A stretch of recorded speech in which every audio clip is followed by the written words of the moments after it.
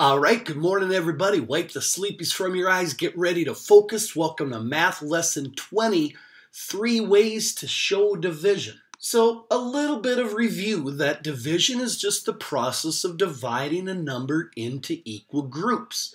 So, if you had a question like, an art teacher plans to distribute 60 sheets of construction paper equally to each of 10 students, how many sheets of construction paper should each student receive?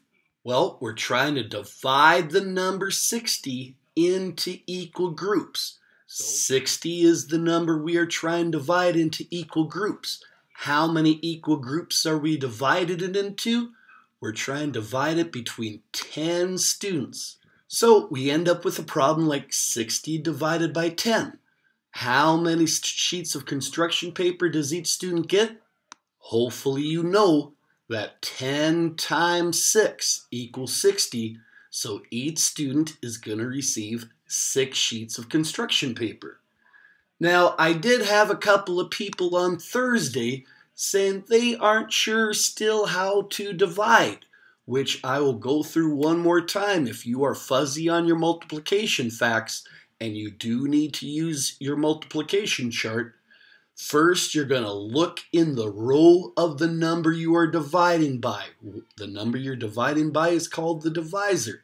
We're dividing by 10, so we're looking in the 10 row. Step 2, find the number you are dividing.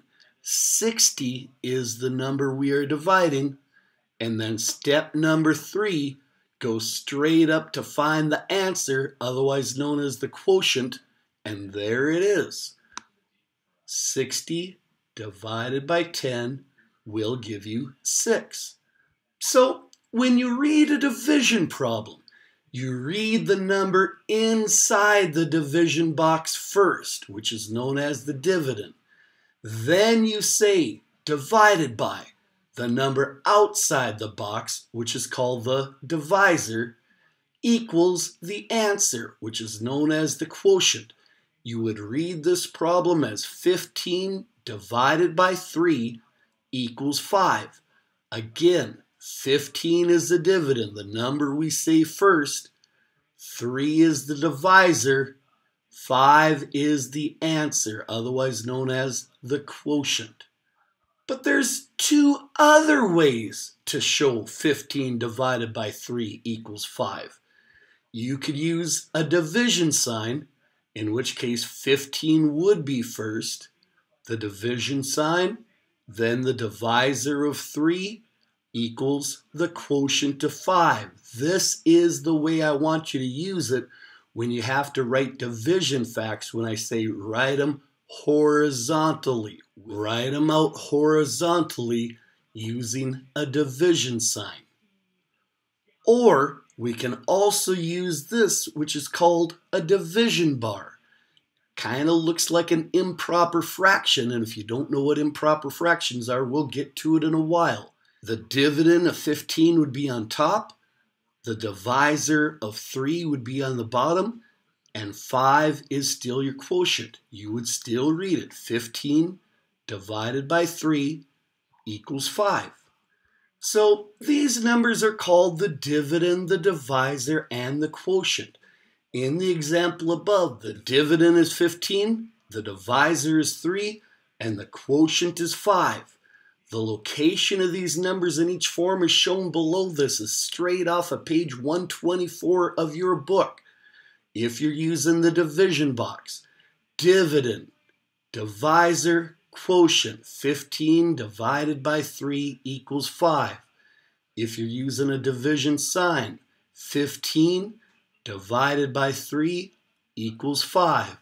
Or if you're using the division bar, 15 divided by 3 equals 5. Again, they are straight off of page 124 of your book, which you're definitely going to want to have open to that page during the Socrative quiz. So we're going to see some problems like this. Find the quotient for each division problem. Here I'm starting off with 18 divided by 6.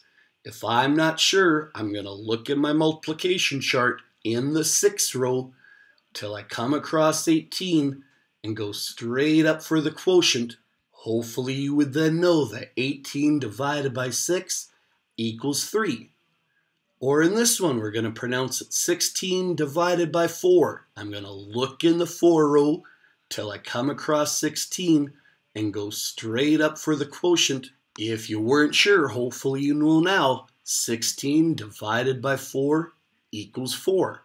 Or the last one, when it's in a division box, you say the dividend, the number inside the box first. This is pronounced 48 divided by 6. Hopefully everybody knows 48 divided by 6 gives you a quotient of 8. So we might run into this type of problem every now and then. Here it's asking us to use three different division forms to show 63 divided by 9. In no particular order, I'm going to start off just using my division symbol. Here I have 63 divided by 9. Now I need two other ways. My second way, I can use the division bar, 63 divided by 9. And for my third and last way, 63 divided by 9 using a division box, 63, the dividend goes inside the box. The divisor of 9 goes outside the box. 63 divided by 9. So here they're going to ask us to rewrite each division problem using a division box. So this says 24 divided by 4. 24 is my dividend, the number I am dividing, so he goes inside the box. 4 is my divisor, the number I'm dividing by, so he goes outside the box. 24 divided by 4. Here I have 18 divided by 6. So 18 is my dividend, the number I'm dividing. He goes inside the box. 6 is my divisor, the number I'm dividing by, so he'll go outside the box. And our last one here, 25 divided by 5. So 25 is my dividend, the number I'm dividing, so he's going inside the box. 5 is my divisor, the number I'm dividing by, he goes outside the box. 24 divided by 4. 18 divided by 6. 25 divided by 5. When you use a division box, the number inside is the number that gets pronounced first. Here they're going to ask us to use words to show how each division problem is read. So, 18 divided by 6. 18 divided by 6. Not too tough. This one with the division bar, 16 divided by 4. So let's just go ahead and use our words. 16 divided by 4. The only potentially tricky one here is with the division box. 48 is our dividend. We say 48 first. This is pronounced 48 divided by 6. 48 divided by 6. Here they're asking us to identify the quotient, dividend, and divisor in this equation. This is all listed out on page 124 of your book if you are not sure. Let's start off with this first one 90. What is 90? Is that the quotient, the dividend, or the divisor? If you need to go back and look at page 124, it would say that the dividend is first. So 90 is your dividend. So let's take a look at the second number, the number we're dividing by. To remember that? Maybe we have to go back to page 124 in our book. The number we're dividing by is always the divisor. Or let's take a look at this last one, the answer of a division problem. Again, if you're not sure, page 124 of the book, the answer of any division problem is always the quotient. So you would just have to write out the problem, draw in some arrows, and label each part dividend, divisor, or quotient, whatever they are asking you.